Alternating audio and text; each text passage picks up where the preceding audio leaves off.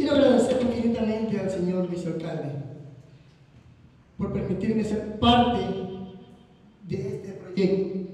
Gracias por permitirme compartir, por permitirme compartir mis modestos conocimientos con ustedes. Muchísimas gracias.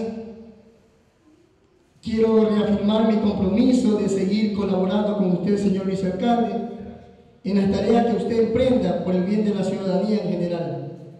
Y conociendo su vocación humanista y su afán de mejorar la calidad de vida de los habitantes del cantón y sus comunidades, creo que nadie se resiste a colaborar con usted para hacer fuerza y construir un Puerto López de gente trabajadora, honesta, exitosa y sobre todo emprendedora. Como usted dice, a Puerto López lo construye su gente. Muchísimas gracias y a seguir adelante.